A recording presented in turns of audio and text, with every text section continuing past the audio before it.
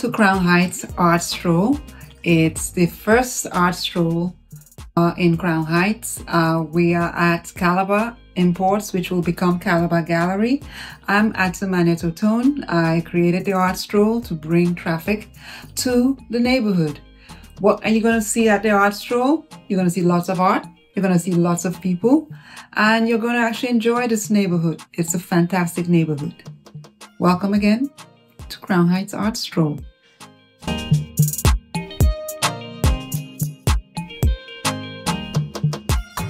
What brought you here today? Well, I'm very I'm from Prospect Lefferts Garden, which is community right below Crown Heights, and I am very invested in the fact that these two communities are finally showcasing how many amazing artists, including myself, we have living here in these two vibrant communities. And um, I'm just really into preparing the communities and working in a partnership and doing whatever I can to encourage events like this, which is fantastic. I first learned about the art stroll was a couple months ago, at the Harlem um, art uh, art stroll, and then when she told us that they were doing it at Crown Heights, I'm like, Yay, I don't have to leave my neighborhood. So I've been super excited. I text, I emailed all my friends who live here about this who I know love art. And so I'm just like all in my arty loving feelings right now. Okay, well I heard about this from the Julia Seabrook Gallery on the Franklin Ave like food fest thing. I saw a poster out and they're like, Oh, you gotta come by and I always love supporting arts in the neighborhood, so I'm excited to be here and uh, look at all all the art in the neighborhood.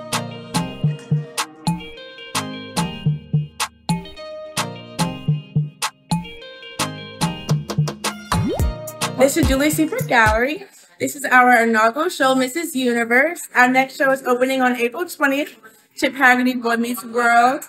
I'm very happy you all came to the gallery for the Crown Heights Art Stroll and hope to see you next time.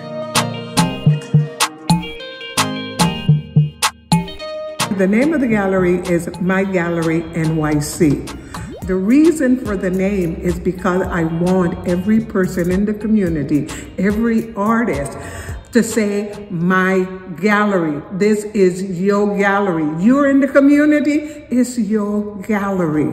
So come on in, experience it, pick the brain of all the artists, and maybe you are an artist also. So stop by, talk to me, and let's see if you could be in the next exhibit. Yeah, I think it's always important to really be able to connect at a deeper level, like in person with artists and just to see how you might connect with art in a different way and even how that one artist we were talking to, I, was I can't remember his name. I wish I could give credit where credit is due, but he was talking about how like every time he sees someone interact with his art, he he always asks like, "Oh, what are you experiencing? Like, what is your thoughts?" Because everyone takes away something different because of their own perspective and, and amalgamation of different experiences, and it's just it's a beautiful thing to experience art with different people.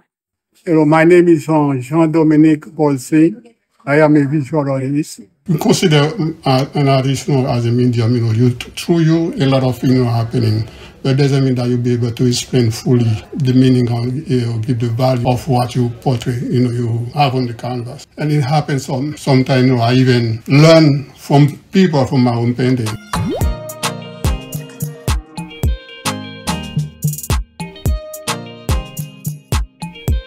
Tara. I'm an artist. I reside in Crown Heights and I learned about the artist stroll on Instagram. And what it means to me is just being able to view, you know, all the art from different artists um, in the neighborhood and learn about new galleries that I would have never learned about had it not been for the um, art stroll. I'm honored to have my work at Darla Ebanks's My Gallery NYC. I have four mixed media paintings in the show. They are collage pieces using antique fabric. My work touches on mostly forgotten women and voices that have been lost or erased over time. So sometimes I put the words of actual women who I, I, I read a lot of biographies of women. So I think forgotten history or marginalized history is really important to bring back to life. So I kind of try to do that through my paintings. Well, this is all inspired. This diasporic surrealism, basically the muse of of work that I do. And sometimes I might get ideas from legends of fairy tales. Like this piece here from The Prince and the Pauper. To me, this piece is giving so so much commentary on masculinity and deconstructing traditional masculinity, not only just by you know sort of you know the very obvious like floral embellishments on the attire, but also the color palette. You know, from the from the like the skin color. There's a lot of like reds, pinks going in there. Yeah, yeah. So I just it's it's definitely giving a very soft rendition of a prince. I have my own story for the work, then when it's done, then it's open for interpretation for anybody else to pick up what they can what they do.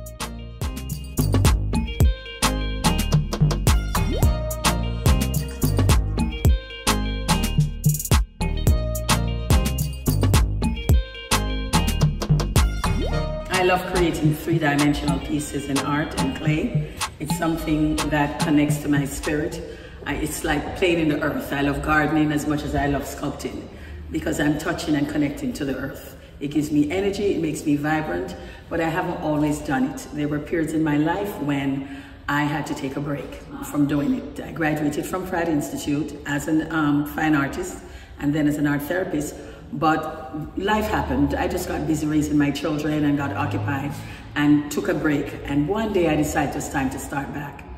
Quite recently, I'm talking about like a 30 year break. And I decided to start back. I found a studio and began working again. So these are some of the pieces of my recent reconnection to myself, to that part of myself that is so important that we should never forget. I don't regret having stopped, but I looked at the fact that maybe if I had different resources and other opportunities available to me in terms of managing my time better, I probably would have continually created. But I'm so happy to be back that it doesn't even matter anymore.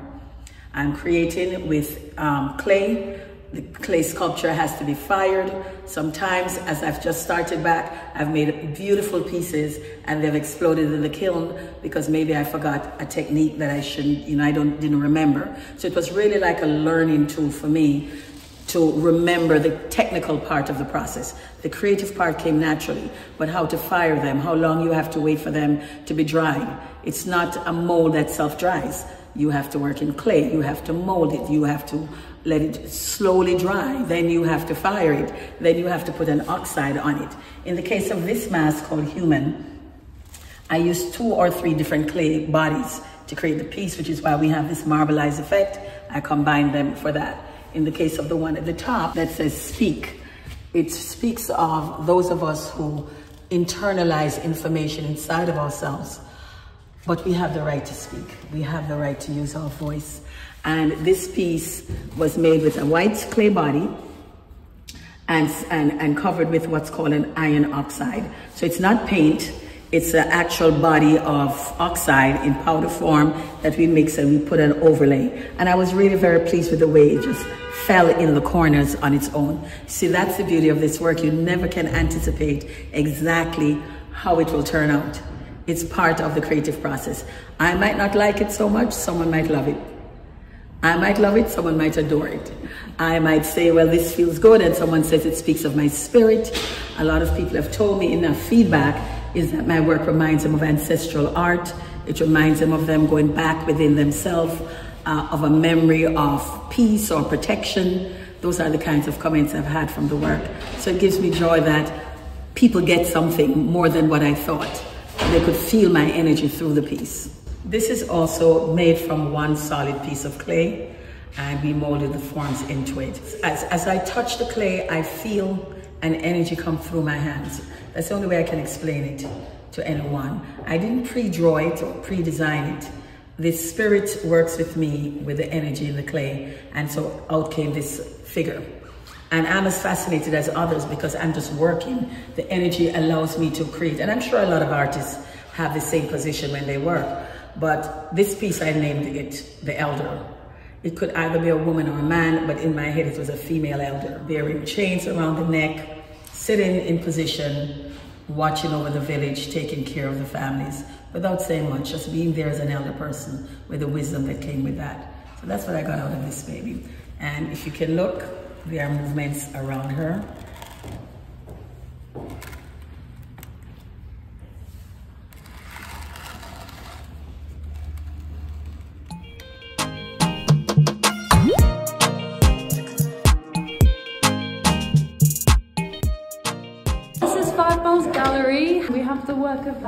Belcher in this space and Elisa Darijo. Elisa's work is from the 1990s and early 2000s. She has, I think, six sculptural works in here, one on the wall, the rest on the floor. And Elisa's work are mixed media. Um, they're mainly made out of clay or cloth and wire. Um, so that's you know how she can form all these kind of organic forms. She makes the form using wire and then wraps cloth around them. And since 2010, she has been working in ceramics. But for this show, presents her sculpture works from the 90s and early 2000s. So there's Elisa. There's Elisa. And with the start, we're going to stick here. Go there. Thank you, Hannah. So about Elisa Darijo's work, you can really see in her sculpture the hand at work. The stitching in this piece against the wall, she must have spent hours, but you can see the hand going in and out, and it's almost a meditation. And the same goes for the piece in the front, which is kind of almost like a basket, but it's endlessly strips of fabric woven back and forth. And then she stiffens it and it becomes that beautiful sculpture. And it's something that talks to me a lot, the hand in the work and she really has it. And Mildred Belcher's work here, we have textile pieces and prints. Um, made using walnut ink, which is very cool. My work in the show represents three bodies of work. The first, which is the most ongoing, is called Skin in the Game, and it features figurative works rendered on paper that's been covered with walnut ink and generally the the series is about risk and putting one's own self at risk for what one believes in. The images of the figures are not immediately discernible, and the viewer needs to adjust their own relationship to the piece in order to fully take in the work. The second series is a recent series called What is to be Built and consists of white line woodcuts, which are all hand printed from one block with watercolors and deal with the idea of creating possibilities within limitations.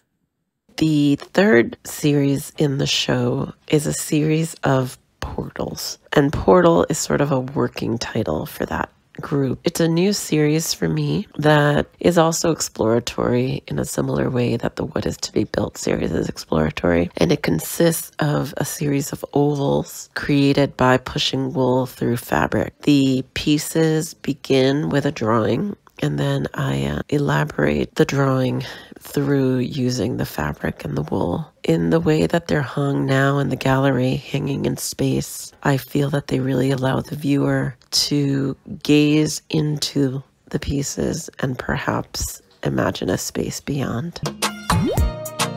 I'm Meredith McNeil. I'm the artist showing right now at Five Miles in an exhibition called Inside Outside conceived of as a, an installation for the space. The work on view explores the idea of having a loved one incarcerated, so being on either inside or outside of the prison system. So the work that I've been doing for the last 10 years has windowphilia images that have very reflective surfaces are exploring that notion. However, when I was asked to do this installation at five miles, I came to the space, the plus space, which is the side gallery. It has a pull down grate, as we New Yorkers are quite familiar with. The, the gate is down, but the space is lit and available to the public 24 hours a day. That means that someone walking by can see this exhibition, but they're always going to see it through a grate through bars. Hi, my name is Gabe Boyers. I'm the owner and director of Be Dry Goods here in Crown Heights. The name of this gallery dates back to my great grandfather who went by the name of B and he immigrated from Ukraine in 1920 and opened a dry goods shop nearby on the corner of um, St. John's and Troy. Even though he didn't sell art, I've taken the name of that shop at which he worked until he died in 1969. My grandfather worked there, my father worked there until he went to college. So in some sense, it's a sort of fourth generation Crown Heights business. The show that we have up right now is called Fully Furnished and features works of uh, New York-based painter Jeannie Weissglass. And this body of work, as you can see, has lots of floating furniture elements, chairs, tables, things like that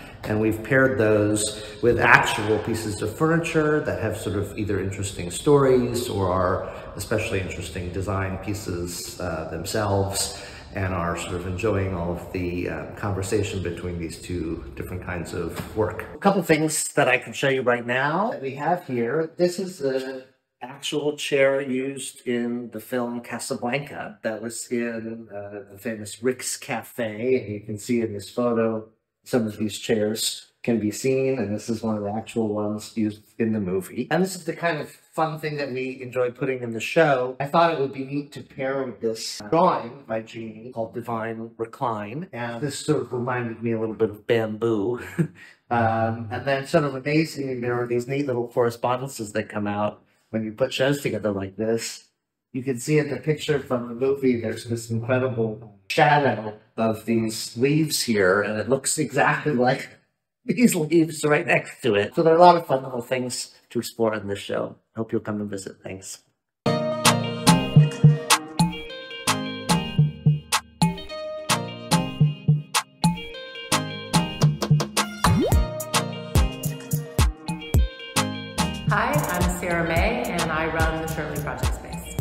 Rachel Wren's show Sightlines speaks of landscape, but it also speaks of memory. It's not a depiction of a landscape as we see it, it's more a depiction of a landscape as we experience it or feel it. It's a sensory experience, and it's an experience of how we remember the places that we've been. Most of the shows at the Shirley Project Space have some form of installation or site specific piece of art. And for Rachel, that was this piece called Limelight. And it was really a nice companion piece to the rest of the paintings in the show because although it doesn't look exactly like the paintings, there are these corresponding themes and elements that are in the work that show up in the installation. Welcome to the space. Are you, uh, have you been on the stroll tonight? Yeah. Yeah. I think this might be our last. Yeah, I best think stop. it is. Definitely our last. Best Yeah. Well, this is painter Rachel Wren, and she is an abstract painter. Everyone, I usually challenge them to make an installation as well. So if you come with me, I'm going to show you the installation she's made. So the installation relates to her artwork, but it also relates to the architecture of this space. Oh, oh wow, hold it. Oh, I was not like the reaction. I mean, like I'm like running into my hair is just like Actually, your your hair looks really good with this green. Yes, it's just Actually, it, it moves. It's some sort of a rainbow of green, and it moves from this milky yellow way to navy. See, you are coordinating. I was really coordinating. Perfect. I recommend moving up and down Yeah. when you're looking because there's a feeling I think of going underwater and coming up again. And depending on your eye line, you'll have a different experience. So my my eye line is where the color shifts into this warm um, green, but right below it starts becoming cooler. So I like that I um, you know feel all this golden view when I'm looking straight on, but then when I go down, I really do feel like I'm maybe entering the water. guys, the whole experience was just amazing. It just felt like a magic school bus, like art field trip. I don't know, whatever it was. But I had so much fun just being able to go to so many different spots. Like right now, this is our last stop, but we're here at the Shirley Project Space. That was amazing. Always connect with real artists. Well, I'm just excited about this journey that we took and to discover more about all the spaces that are in the neighborhood from my new friends. And I think I agree. I think it's always important to really be able to connect at a deeper level, like in person with mm-hmm. artists and just to see how you might connect with art in a different way. So there needs to be more art walks like this. So yeah, yeah, whoever, wherever the funders are, let's have more. I'm excited about the stroll because although this gallery been here for two years, there's a lot of my neighbors that are not aware. So I'm excited that they could see that there's galleries in our neighborhood. We could enjoy an opening reception in a gallery in our own neighborhood. We don't need to go anyplace else anymore. They're here. Thank you.